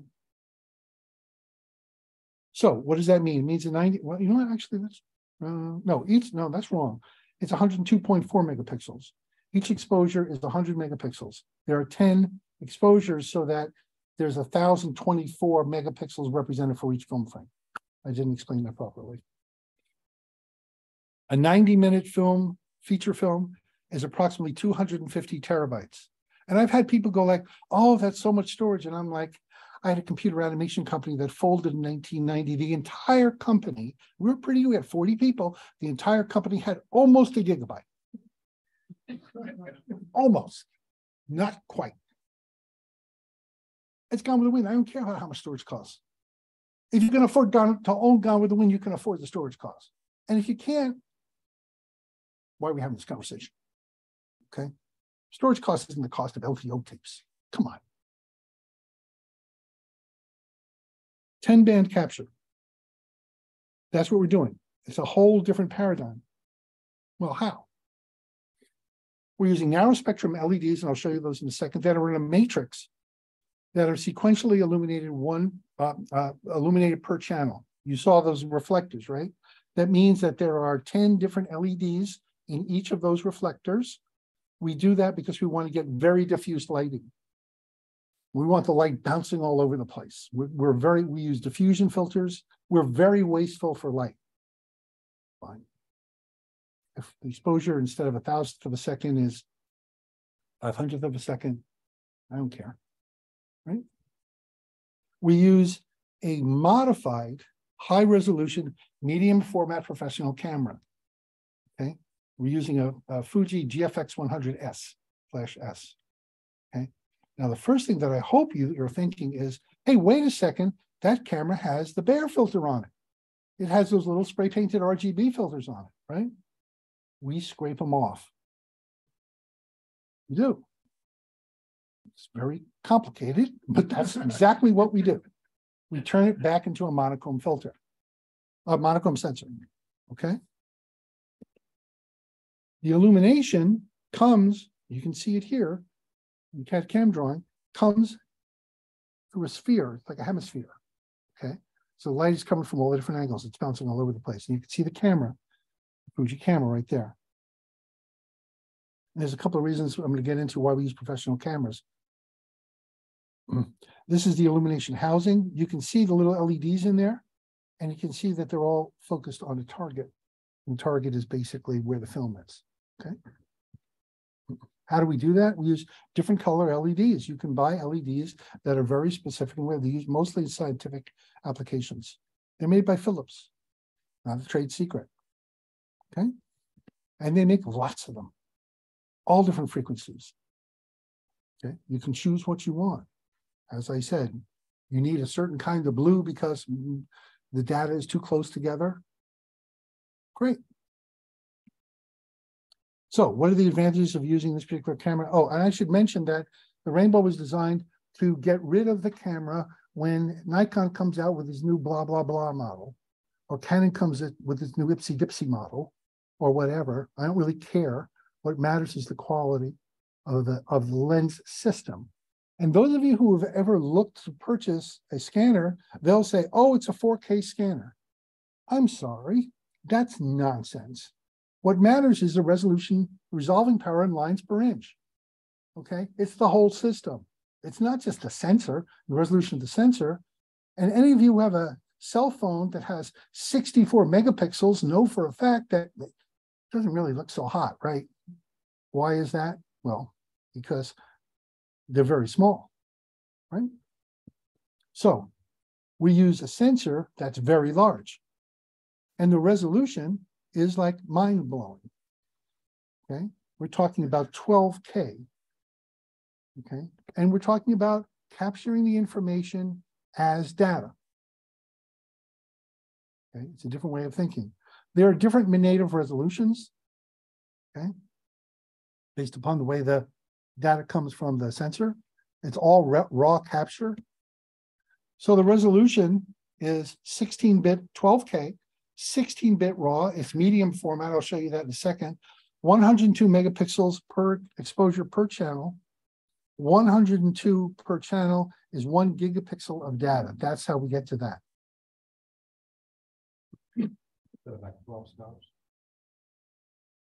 That's a good question. Um, it depends upon the, the, yeah, and it depends upon, it, it happens to be a very low noise sensor. Um, so the answer is yes, but we don't want to operate on, on end. Right? We want to stay where there's no noise as much as we can. This is a comparison of the size of sensors. So these, this is a medium format. So those of you, well, I know Carl, for example, is a photographer, among other things. Um, you know, bigger negative, better quality. I mean, I'm sorry, you know, it comes back to that. You want to capture more photon information because the more information you have, the higher the precision, the higher the accuracy of the information. So we're using a medium format sensor. The lenses are really important. You know, you can't do this kind of work and not consider the lens. Hello? You know, it's it's not about the resolution of the camera, the sensor. It's about the whole system. You know, what is the resolution that's captured throughout the entire system? And one of the reasons we're using the Fujifilm stuff, and one of the reasons we're using professional cameras is because guess what? They're tested, not by the scanner manufacturer, but by professional photographers. Because this is what they do for a living. You know, Canon comes out with a new lens. What do they do? They test it. It's all on the online, it's all there, right? They also, because it's a medium format lens, um, a sensor, that means the lens itself is larger. What does that mean? Those of you who are into photography, a larger lens means what? Less distortion because you're using less of the bad part of the lens. Okay, and we also stop it down, depth of field, which means we're getting the best part of the lens too. So we're doing everything we can to optimize the quality coming through the system. Question about um, these multiple light sources Mhm. are um, they're presenting to the film at different angles, right? With one, one in the center, some on the outside. And I know in some, in, in some light source system, where the light's coming, different colors, lights coming from different areas, there's some type of aggregating sphere to, uh, to even out any light falling. Is, We're doing this, we are, uh, I can ask you a question. Okay, we're wasting gigantic amounts of light on purpose. We're not looking for coherent light here. Okay, we're looking for as diffuse a light as we can possibly get. That means we want the light to bounce around. Okay, So is, is one side of the film, uh, because of the fall off in light, because you're. It isn't, because it's a, it's a sphere. Yeah. Okay, so it goes around, hundred and eighty degrees around, right? And there are reflectors all along that, and there is diffusion material in front of each reflector. Okay, so we diffuse at the source, not at the image plane. So the light getting there is diffused to start off with. Does that answer your question? Like using an HMI. Yes. Yeah, that's right. Yeah, you just go out. Why did it listen? Just do. It's, it's, it's. It's softer at the end of the day. I mean, what does that mean exactly? But that's what it is. So each ten exposures, well, how do you look at it? Okay. Can you take all of this data and just, you know, stick it up on your, you know, Photoshop and look at it? No. Because it's a data representation, right? Each of the ten exposures is a, is part of a data cube representation. You can't have all of the data unless you have all ten layers. Okay, so how do you look at it? The answer is, there's open source applications looking at multispectral software. Because they've been doing it for, since the nineteen sixties. NASA has open source stuff. There's, there's lots of stuff. And what we're doing, I'll get to this in a second, what we're doing is we are building middleware so that this will hopefully work with the color correctors that people are familiar with. We don't expect people to get rid of their resolve or whatever they're using. Okay, we want this to interface with that, which means standards. Okay, we'll talk about that in a second. Mm-hmm. So the films derived from the master film frame look something like this. There's the original film frame, and you'll see each of the 10 layers, each layer, 102 megapixels, 16-bit black and white, and you see DNG. Does anyone know what DNG is? Digital negative. Thank you, someone, whoever that was. And what what is, if there was a standard in still photography, what is the standard? Doctor, you're doctor? Yeah, sure. Okay. DNG is a packaged, a standard packaged version of raw data. Okay, and it's supported by Adobe. It's it's uh, license free. Okay, it's as pretty much as open source as a company like Adobe would ever make it. Okay, the data is there. The important part about it is as a container, the DNG file is sort of a container.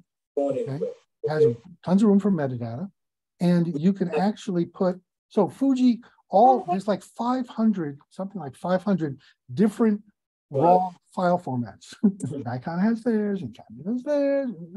DNG aggregates. Okay, and it sort of filters the data down into one common way. But in addition to that, because I'm insane, in addition to that, the DNG files allow you to put in the original right from the camera also. So if you've got the storage, we've got the data.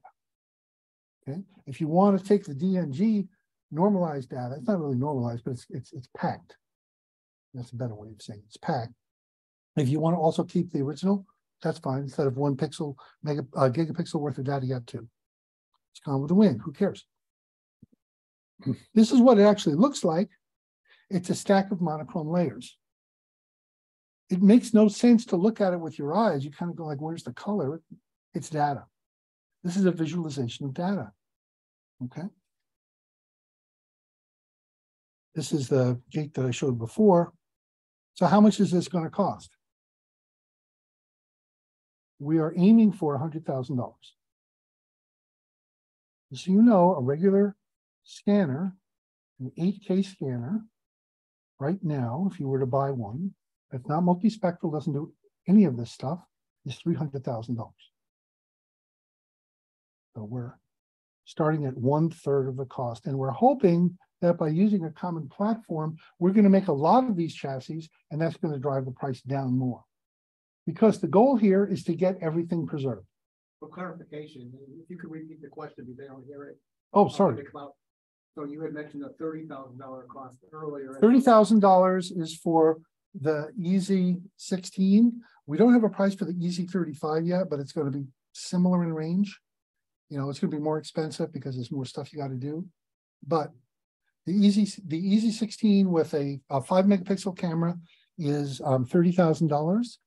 And, and we're not doing the automobile business stuff, right? We're not going like, well, you've got mag wheels and, you know, it's thirty thousand dollars. Operable system does everything you need. If you want to upgrade to a, um, a twelve, a twenty-four megapixel camera, the easy, it's an additional ten thousand dollars. Everyone is signing up for the twenty-four megapixel camera. I wish they weren't. Really, I wish they weren't because it, you don't need twenty-four megapixels to see the image. You don't. The other distinction is that's RGB land still. Yes. Easy. Mhm. So Yeah, the- RGB versus multi. Yeah, you repeat that for? Yeah, so the, the question was, um, or the comment was that the, um, the EZs, the EZ sixteen, and the EZ thirty-five are, are, are ARA, RGB cameras, right? Because you're doing this triage process. Oh, Barack Obama in short pants. That's valuable. We're gonna put that on the rainbow. Rainbow isn't for everything. Rainbow's for high value assets, which we talked about at the very beginning.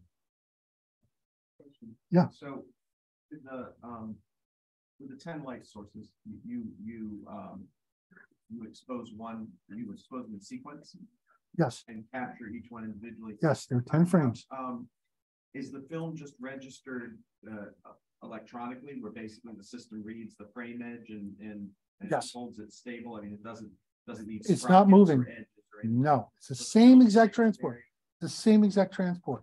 And, and, but, and the, the, the position of the film is, is, is calculated based on the frame edge, uh, controlled by the software. It's image processing software. It's actually not that hard. Compared to doing it at forty-four frames a second, it's nothing. yeah. So it's contactless pin rate. Yeah, and it's not moving, right? You know, when things aren't moving, it makes it a lot easier for registration. I mean, you know. And that data is part of the data, right? Because you have the ten different layers, you can see the sprocket holes. If you want to, if you want to do stabilization as an could example, Absolutely. That's the whole idea. We're Yeah. put, we're, we're saving the film. It could be shaking all over the place. We don't care. Doesn't matter. I want to see what that John Ford film looked like in nineteen fifty when it was released and the lenses were crap. And there was no air conditioning in the movie theater and there was, right? And it, and using an arc lamp. Right? What, what did it look like, you know? I don't know. But you have the data to figure that out. And you haven't had it before. Impossible to do. Impossible. So I hope, I hope you're gonna look back in your careers and go, you went to this meeting with this guy wearing a cyan shirt. And at that meeting, you realize that it's all gonna change. And the reason it's all gonna change is not because I'm just trying to sell stuff. The reason it's all gonna change is because the stuff we've been doing is wrong. It's always been wrong. You just never stop to say, well, can we make it better? I can't tell you how many film to tape sessions I was in, you know, as a producer, director in the early parts of my career, where we're going like, you know, we had the, the Pogle, I think it was, you know, and we're going like, "Mm, you know, you know, we really want the Coca-Cola can to have that kind of reddish orange. Good luck, right? Can you get, can, those of you who've done it, can you get a Coca-Cola can that was shot on film? You cannot do it, right? Can't do it. No one can do it. Now you know why. And it's never been able to be done. Handled reversal, same as negative film. Doesn't matter. Same data. Right? Same process. And that's really important, right? You want to take the same, oh, there's some other things in here which I haven't talked about. LEDs are sensitive to temperature. Color frequencies and LEDs will change based upon temperature if you're not careful, right? So we have um thermocouples on the front end where the LED, you know, that are exposed, if you will, to the film, and on the back end where the heat sink is, so that we know for the exposure, what was the temperature of that thermocouple? And, and we're still working on this, we're going to have a spectrometer in the system. Okay, and we're gonna get the metadata from the spectrometer. You're gonna do an alignment frame, right? You're gonna have to align this. Right? And so, so we think the color, the, the peak of that LED is four hundred and fifty nanometers. Was it? It doesn't matter so much if it wasn't, provided that we know what it was, right? Because we have all the data, we can filter it, we can mask it. Right? So we're gonna have inf- uh, spec, uh, spectrometer data in there. We're still working on that, exactly how we're gonna do that, not sure. The transformer, that's pretty close to flat. I mean, Yeah, what would this work, look like in a perfect world? Be a flat line. you get it, you get it. We're getting there. Yeah, yeah. You know, if you have, you, you start running into like, um, economies of scale, well, I don't know if that's the right word, but you, Yeah. you, you, you know, you start running into like, okay, how much more better is it statistically if you do twenty lamps versus You gotta get good. ten, right? You start, you start running into this thing where, okay, you go from ninety percent accuracy to ninety-one point oh three percent, and so, you know, is it worth saving twice as much data or four times as much data for that? And we think that this will be adequate. There will probably be, our, our system doesn't care. Our system looks as the LEDs themselves as a matrix. It's a circuit that just turns circuits on and off. It doesn't care about how many LEDs there are. So we could get more LEDs into the system. The problem becomes one of the physical space that LEDs, LEDs are getting smaller. There's some new technology coming out. That will change it. And then also the heat. Dissipating the heat. We're also looking at, and this is stuff we're looking at. Um, if the, if the heat sinks over time aren't adequate enough, and we'll know that because of the thermocouples, then what we're gonna do is we're gonna use, we're gonna, we're gonna cool it with water. Which is what's done for lots of other things. Like any of you have an overclocked computer chip for gaming. Same basic idea. You just want to get, the want to pull the heat away. Um, you know, the problem with that is just getting the, getting it where you want it. Just getting the, getting, you need to pull the heat out. There are also heat pipes. That's another way of doing it. Right now, we're, we're now, right now, we're getting good results just with a heat sink. Okay, but it's also hasn't been running for, you know, 100, 200, 500 hours, so. The LEDs come up, they're, they're turned on. You don't make an immediate exposure because it takes about a second for the LEDs to sort of settle down. So this is not real time. Maybe someday. Carl, Actually, as, as we all sort of scratch our heads over for discussion, which in a sense, as its implied use case, recreating the color that's in the film itself. In fact, the use cases in most instances are going to be, on the one hand, for nonfiction material. Often the goal is the reproduction of the artist's intent by John Ford, which is a matter of correcting the color on the original film as much as it is reproducing it. The use case for, uh, that's for fiction, for nonfiction, the use case for documentaries or say news footage like Barack Obama is often correcting the scene rather than correcting to the source film. So it's possible that once you've gotten this good set of data, it's really pointless to try to perfect it further as though what you're trying to do is reproduce what the film has as its color, since the use cases are correct to scene or correct to artist's intent. I'm gonna quote, um, man who's passed away. His name was Phil Mittelman. How many of you saw Tron? You know The film Tron. Um, that film was made by, uh, Image. God, I can't remember now. Image International, we're in Westchester, New York. It was Phil Mittelman's company. And Phil Mittelman posed in his retirement speech, and I was there. Early days of computer animation. Phil Middleman proposed the following. Called it a law. I'm not sure it's a law which is that animators will use the square of whatever computer power you have. Doesn't matter how much power you have, they will use the square of it because it's the aesthetic. Right? It's the aesthetic. How how much do you want to to make it look like? How much time are you willing to invest in it? How much, how important is it to you? I'm a, I'm, I'm a, a- director. I'm making another feature film and it looks this way and I want this footage to look that way because that's what I want. Yeah, well, again, I think it's likely that your data set will be adequate for those causes. Oh, yeah. Because you're not trying to get back to what that particular Technicolor faded dye transfer looks like. No. You're either trying to get to scene or intended. I, I, we're, we're trying to preserve it as accurately with, with the least amount of opinion. Well, it's the same thing that underlies camera raw sensor data capture, which is what usually happens in DNG, which is the idea is you've got enough data there. Right. That person A, person B, person C can output it the way they want. They can do what they want. I'm, I'm, you know, we're, we're, you know, there's lots of color correctors, and lots of people that use them. I'm totally okay with people using whatever tools they want to get it to look whatever they want, whatever the way it wants to look. But let's start with real data. Well, they may want to get back to your sign on chart, so you've got to have enough to work with for that. And there isn't. For reasons that, you now know. Any other questions or? Does anyone have any questions that's on Zoom?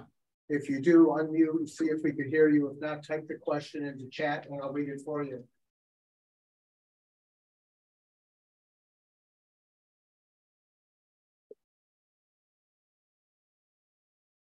Not seeing any right now. Stunned silence. Well, I, I want to, I want to thank you for your patience and for, for listening to this. It's, it's not your normal presentation. I'm aware of it.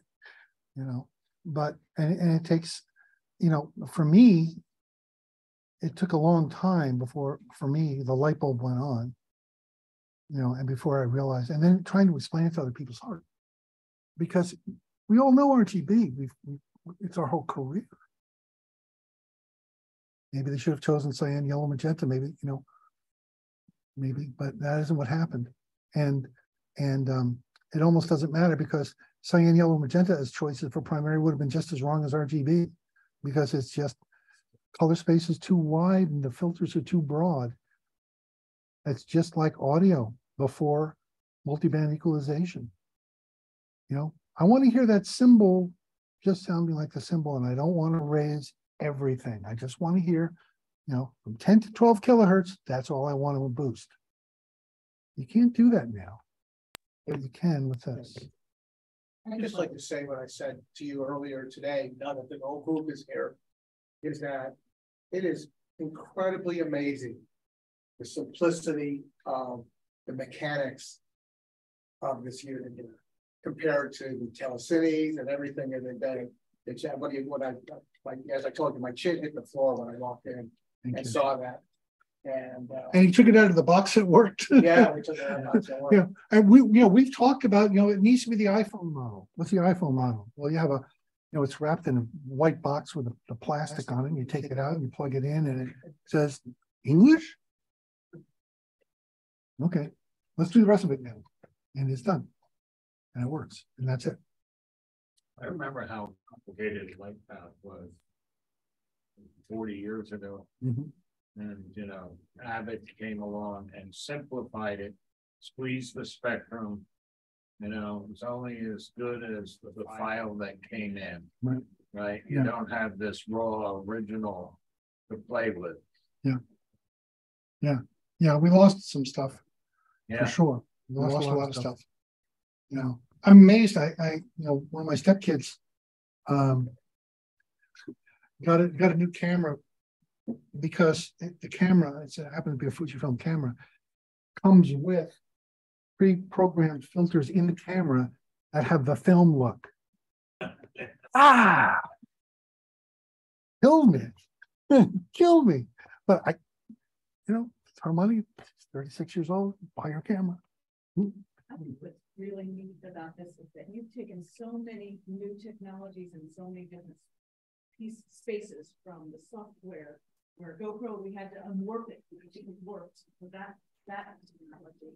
Plus LED technology has raised to a level and you are ready for the future where it's even smaller and cooler. You've taken technology, software, hardware, light, sound, all of those things, and sort of taken pieces of them all like a Venn diagram. You found in the middle exactly what, what works for this. And so it's a, it's a great testament to you guys and the fact that you had the, knew what was needed and what was wrong and could find a way to fix it. Oh, you, you made my month. I'll, I'll give you money later. Amazing. I mean, the other thing is, you know, years ago when this stuff started. You were working against a lot of stuff that you don't really have to work against That's anymore. right. You had to work against the, you know, the chemistry in the film and. Yep. Phosphors in the screen that All of it. really weren't accurate and, you know. Well, we, God- we could have a long we all did some conversation about, media, So, we could all have a conversation about NTSC, right? Mm. oh, but I mean, you know. One of the reasons that NTSC is what it was, is they started with a monochrome system. That's right. They had this much bandwidth. And so they, it was, it was one of the first compressed systems. That's right. Because the color difference signals have less bandwidth than the Well, Luma signal. But monochrome was compressed too. I mean, that's what, that's what fields were all about, right? And, and, and, and the, the, and the phosphor, the phosphor lag made up for the compression, sort of. And in a very analog way. Things that, you know, if you can get back to the original film stock of things. And say, oh, we're gonna be able to eliminate all this other compromise. You may see things that nobody ever saw. Well, you will. I mean, you know, the, the obvious point here is that I'm not gonna make any friends. The Okay, Library of Congress people, close your ears. Is that all of the stuff that's been done has been done wrong. Hello? It's been done wrong. I'm not talking about the stuff that doesn't matter, because stuff that doesn't matter doesn't matter. Let's find the stuff that does matter out of the stuff that doesn't matter.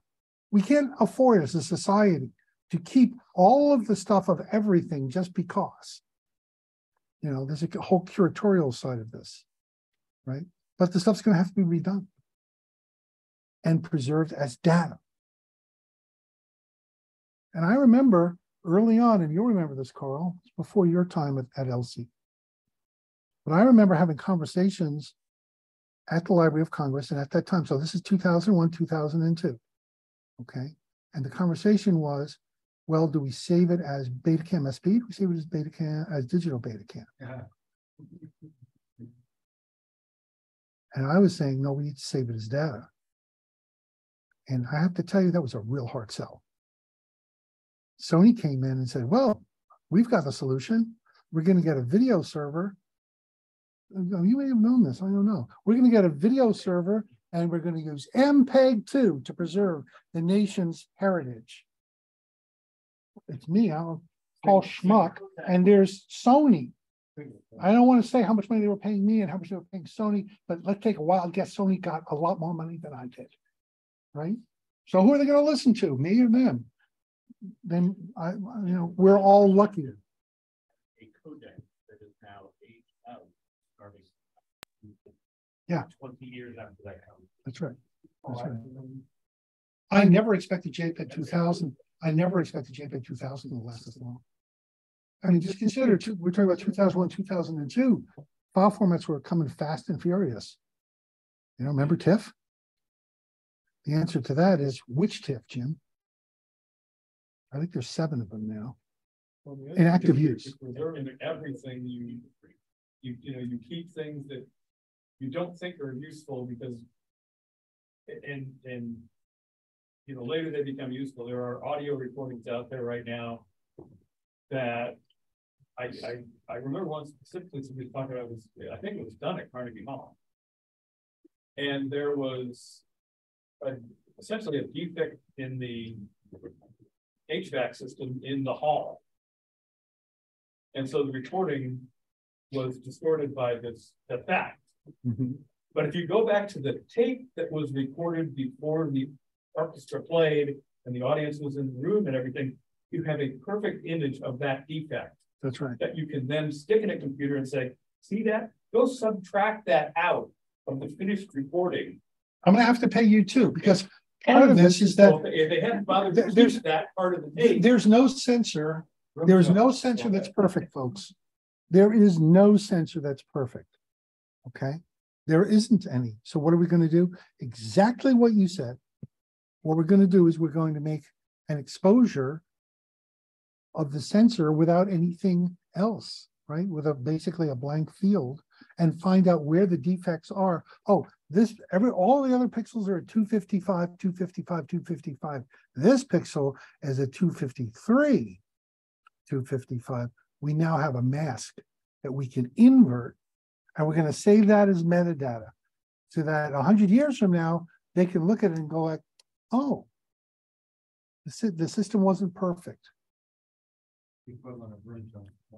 Yes, So I've got, I've got a different each system. it might be. And in fact, for the same system over. It, it probably Well, I mean, will. I have, I have a mode in my still camera. That will take, that I use it to t- do astrophotography.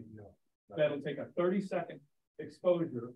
Well, there's gonna be noise in that. It's not Yeah. always noise. But it immediately also takes a thirty second exposure with the shutter closed. Uh, and it says, now I can see the hot pixels. And. takes. Any of you video people remember the Ampex, I think it's VPR three? Yeah. Okay, what, the- what, what, what happened in the Ampex VPR three at the beginning of the recording?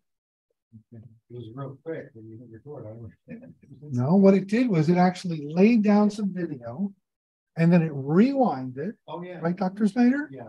Rewinded and then re, realigned the playback circuits based upon the known recording that was in it, right? It, it did all of that. It's the same thing here. So stop and think. what Was it VPR five? Oh, no, no, uh, was I thought it was VPR three. VPR five was the- Yeah, that was, yeah, no, this is the most expensive one. they made. $100,000. Yeah, yeah, yeah, exactly. Now, every, every will tell us TV conference, we shoot on thirty seconds on open gate at the beginning of every Yeah. transfer. Yeah. Because that open gate information could be very. it's Absolutely. very useful. Absolutely. Nat sound recordings that we Yeah. do for radio. and We- stuff, we- those we don't great have, so there's something done in film transfer, some, some film, tra- I don't agree with it strongly. Um, it's called liquid gate printing. And what you do in liquid gate printing is you take the film and you, you basically float it in trichlor or perc or some very nasty chemical, right? And, and the idea is that the, because of densities, the fluid fills in the scratches, so you don't see them. Okay, and, and, but guess what? When you do that, you've now lost all that data forever. Right? Because you, first of all, you're not capturing the data, you're just capturing the picture. Right? So you don't have the data. So, You could do if you went back to the three color negative for Technicolor films or the inner negative. You know, because you're doing this off of prints quite often. And There's a lot of data that's lost. it, it, it could be, uh, well, it could, it could be done off of any, I mean, the rainbow can be done, oh, this can too, doesn't care. But, but, um, but yeah. Could do that. We're, we're working on a version. Uh, we're, we're not done, we're, we're working. Of the EZ sixteen. How many of you have flatbed editors that are still in service? Like Moviolas or KEMs? or- Yeah, you're laughing. There's thousands of them. Yeah, there are. And, and they use them every day to look at movies. Right? They're used in libraries, they're used in all sorts of mm-hmm. places. Okay, well, we basically can de-feature the EZ sixteen and do that. Can I make an announcement, Jim? Sure, As of today, the EZ thirty-five is for sale. it's true. You are the first to know. It's true. Of, the low, low price out. What he said.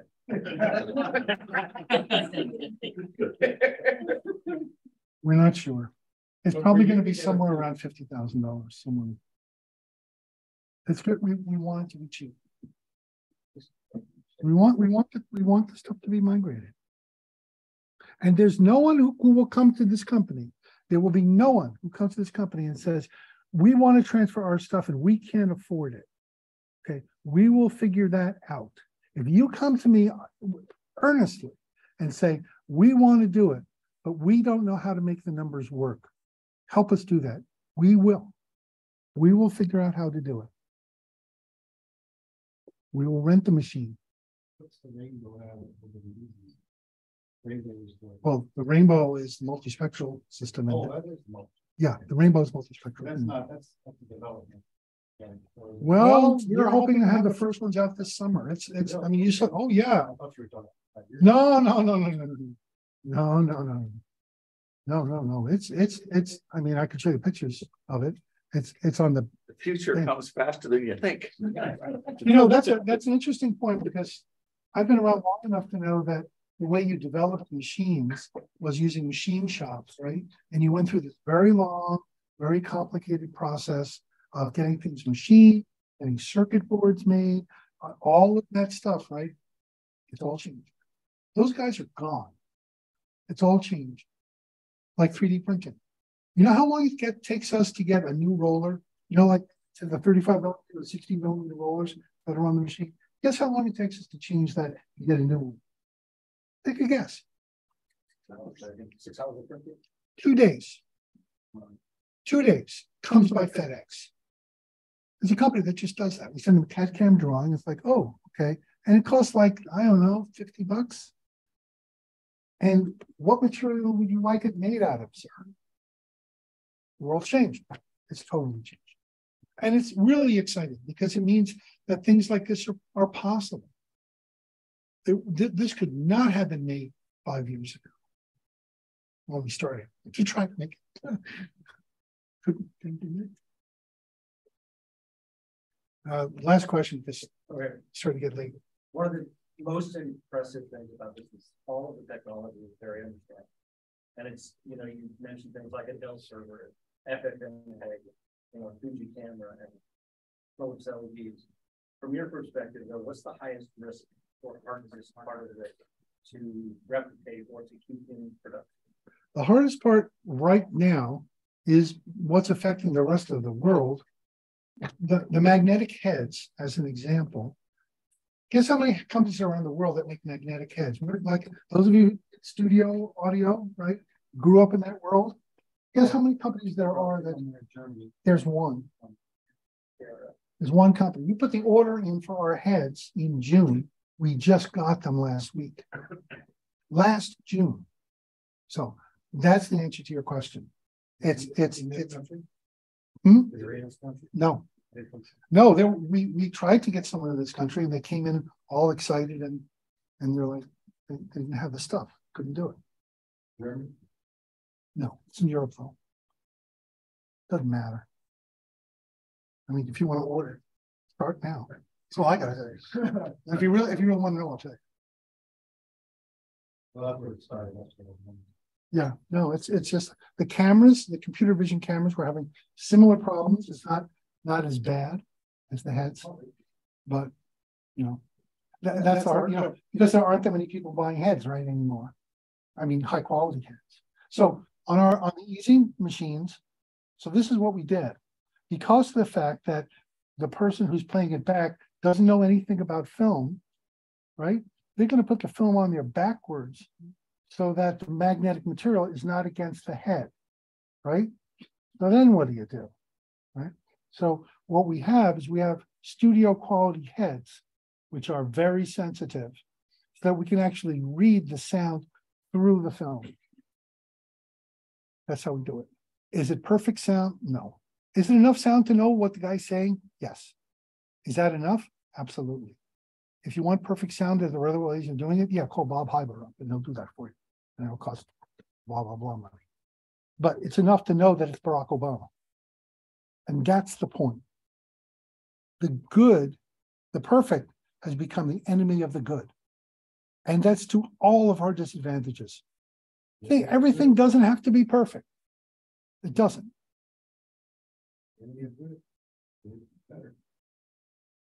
Well, but if you, uh, this- I've done, done not perfect, done not perfect is something I've been seen lately.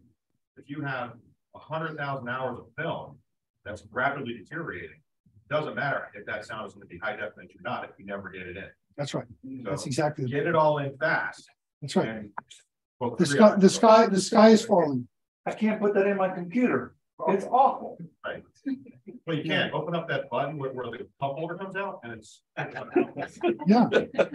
So what's, what's it, you know, what's the worst part of this whole thing is, is what's at risk? You know, I mean, some of us in this room have been around long enough where we remember very gifted directors and producers and people, editors that we work with. They're not around anymore to say, hey, transfer this one. This is a really good one. They're not around to protect their material. So the only way we can do this, the only way we can find out what treasures we have as a society is by digitizing all of it. And in mm-hmm. order to do that, it's got to be cheap and it's got to be done by people who don't know anything or not capable of it. We need people who are, who have challenges to be able to do it. It's a good job for them. Mm-hmm. They can understand how to do it. They don't need to be technical. They, they, they can understand simple things to do that. And that helps all of us. And That's the way it has to happen for us to save that. And if we don't, we don't, it's gone. And we don't have much, we don't, we don't have another sixty years to figure this. Out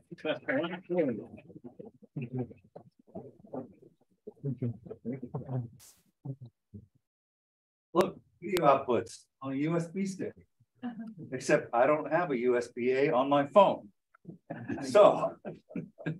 The USB stick is empty.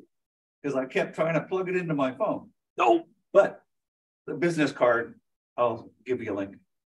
You can uh download it to your own phone. Yeah, Okay. So for those of you who are in the room, we've got a few more minutes to take a look at the scanner and talk to Joseph and Jim. For those of you who are online, thank you for joining us this evening. We'd like to thank uh, Blackmagic for uh, providing us with the uh, delicious food that uh, we had here tonight. We want to thank uh, Jonathan Solomon and the folks at uh, Amazon Web Services for the room and the facility. This was a great place to meet. And thank you all for coming and thanks for for Jim and Jacob for taking the time to be here with us tonight. And so that wraps up this meeting and see you all next time. No, uh, no, no, that's.